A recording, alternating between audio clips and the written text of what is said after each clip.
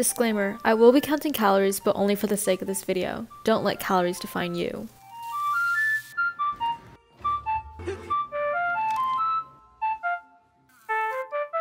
Jumping whip, shit cold. Watching my step ground froze. Most my day spent alone. Same my bro, he knows. So about a year ago, I just casually watched a YouTube video and it told me based on my weight and my height how many calories I should be eating every single day. So my stupid little self put in my weight 123 pounds and my height 5 foot 1. I know really sad, but don't make fun of me. And it came out that I should be eating 1600 calories a day to lose weight. And remember that number just became my entire life. I tracked everything I ate, like every single grape I counted, which is crazy. And whenever I would eat over 1600 calories, I felt so bad and so guilty. And I would basically starve myself for the next day until I felt that I was on average eating the right amount of calories. And did I lose weight during that time? Well, yeah, duh, I lost weight. I mean, I wasn't eating, so if you don't eat, you're gonna lose weight. But it's simply just not sustainable. Every day I would purposely eat dinner early so that I could be eating my stupid, boring kale salad while my family was eating all the delicious bowls and meat bread and everything that I eat now. And to make matters worse, I always thought I had to be active, exercising constantly. So every single day I would run like two hours on my treadmill and then afterwards do weight training. And while exercise is really important and everything, it should never be something that's so burdening and something that you feel like you have to do or else you're not going to be able to live to the next day. The change to my carefree life now wasn't that easy. When I first stopped counting calories, I didn't need the scale to still know how many calories were in the foods I was eating. I'd been counting for so long. So I still had like this idea of what was unhealthy and healthy and avoided everything that I thought had too much oil or salt. And I just basically restricted myself to only fruits and veggies, even though I wasn't counting. But you know what? Progress is progress. I lived like that for about six months and then gradually I started eating more chocolate and more cookies and the guilt that was associated to those delicious treats started to minimize themselves. And so I finally feel like I can eat these whenever I want. Yeah, sure, I might be gaining weight. Heck, I'm already five pounds heavier this week than I was last week. But you know what? That's fine. Maybe that means my body just wants me to eat more. Or it could mean that I'm gonna grow soon. So let's hope it's the latter. On that, you just wanna get high. Next day you forgot that I told you that. This my niche, play my role. What you hold, little boy, best don't reach. Your shit dirt, you get curved. I just. God, this is getting too inspirational and sappy for me. Maybe I'll just go back to narrating foods. So on this morning, I decided to have oatmeal and I planned for it to be beautiful, golden kiwi and strawberries, but it turned out that my golden kiwis were so expired and disgusting, so it's just strawberries. So I added some chocolate chips because I love chocolate and I don't care that it's an additional 80 calories. And then this is kind of weird, but some random person shipped us this box of dried fruits and nuts. Like to this day, we don't know who gave it to us, whether it was my mom's company or like some random person accidentally sent it to us. I don't know, but I enjoyed it very much. And then for lunch, I had a ton of veggies, definitely more than pictured. And then as a snack, I obviously had to have my green grapes because I just can't live a day without these. And then I had a persimmon and also some cashews. And then for dinner, my amazing dad got really creative and made us some homemade pho. So we have like a ton of veggies and also some beef broth, I think, and also some noodles. And this is the difference between my brother's bowl, which is like all meat, as you can see, and then this is my bowl, which is stunning with a lot of vegetables and nutrients. And then as a snack, I had some of these dried plums, and as you can see, we're basically like already done with this entire box of dried fruit, like in one day. Kind of scary. But I wanted to try everything, so I did. And ever since I've been fired, I do have a lot more time so I can exercise basically every day. And unlike one year ago, I actually enjoy it now because I exercise like the way I eat, just whatever I want. So if one day I'm feeling like I want to do some core, then I'll work on my core. If one day I want to work on my arms, I'll work on my arm. And if one day I'm feeling really into it, I'll do 40 minutes. If I'm not into it, I'll only do 10. Just depends on how I'm feeling.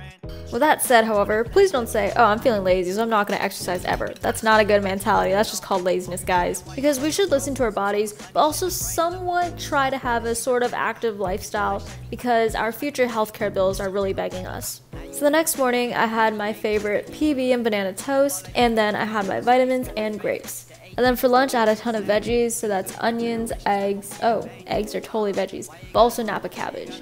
And the thing is, I eat a lot of veggies, and in no way am I eating veggies and fruits just because I'm restricting myself or only eating healthy foods. No, I eat veggies and fruits because I love them. They're so much better than this dried peanut butter that I'm currently eating. Yeah, So then we decided to make chive and egg bread. So as you can see, we just mix up scrambled eggs, mushrooms, and chives. And then we roll out the dough, which is basically just water and flour, honestly. And then we wrap it up like this. And usually you'd make it in like the size of your palm, but we are rebels, so we make them huge.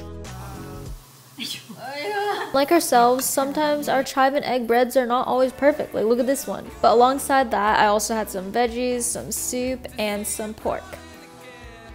And look how big this thing is. It's like three times the size of my head. Damn, and I have a big head. see.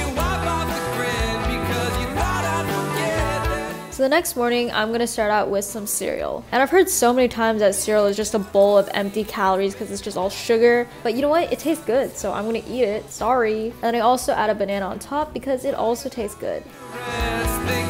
Then I also had a macaron and grapes.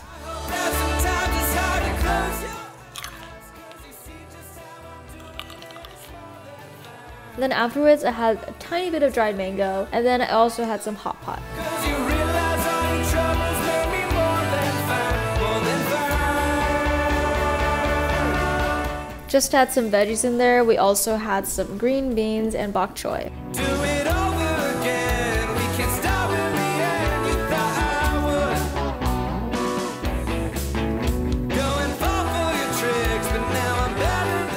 Two hours later, I got a little hungry, so I ate a half a pomelo, and also I had some dried strawberries. Please ignore the random vodka on the floor. And then for dinner, I had some tomato and eggs, some random veggie and carrots, some chicken, and some green beans.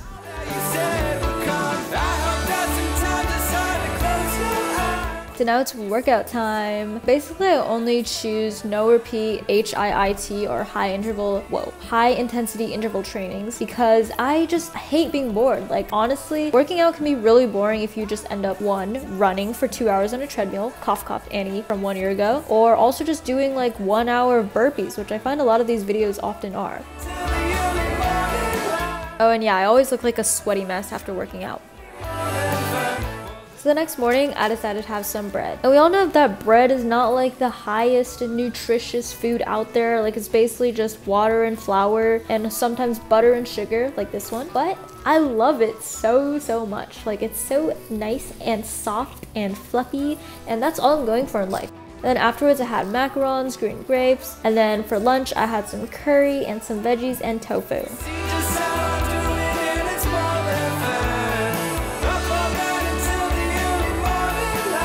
After three bowls, I was still kind of hungry, so I brought out a slice of bread. Then I also had half of an apple pear, which is basically a pear, but kind of crispy, so I guess they call it an apple pear. And then for dinner, I had really watery curry, some cucumbers, some broccoli, and some celery. I know it sounds like I'm eating like a straight up bunny, but trust me, if you stir fry anything correctly, literally everything will taste good. Then afterwards, I had some strawberries, some cranberries, and also some chocolate chips.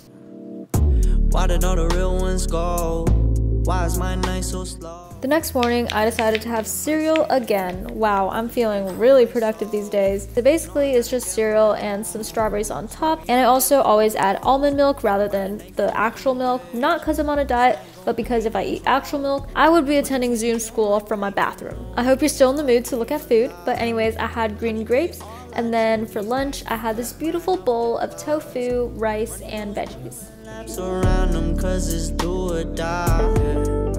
And then as a mini dessert, I had some chocolate chips and also an apple.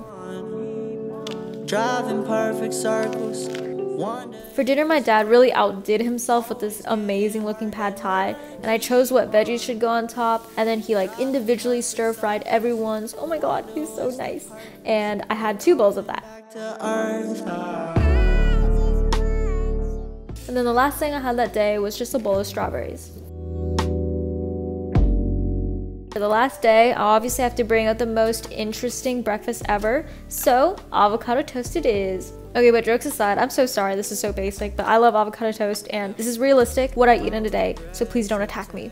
I couldn't stand to you. Close my eyes and pretend. And then while my mouth was covered with everything but the bagel seasoning, I had my vitamins and also a macaron. I thought I knew you. This tunnel vision. And then I had my green grapes. And then for lunch, I had a bowl of eggplant and a ton of squash. And even though it looks kind of boring and dull, it was so good. And as you can see, I finished up that entire pot. And then I had a persimmon, and afterwards I also had a banana. Steal from a purse for me, it hurts, don't it? We got some demons in common. And then for the final meal, I had a huge pot of pork, chicken, potatoes, and carrots, and also some bok choy. And as you can see, I don't leave any leftovers in this house. And to finish everything off, I did a 30 minute advanced HIIT workout. And some of the moves were kind of questionable, but it got me feeling active, and that's all that really matters. Thank you so much for watching, and remember, everybody is different, don't compare yourself to others, and have a good day. Put your head on my shoulder.